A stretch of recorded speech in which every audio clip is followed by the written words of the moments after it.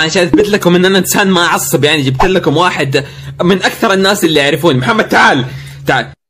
بالله أنا شخص أعصب. بالتأكيد نعم.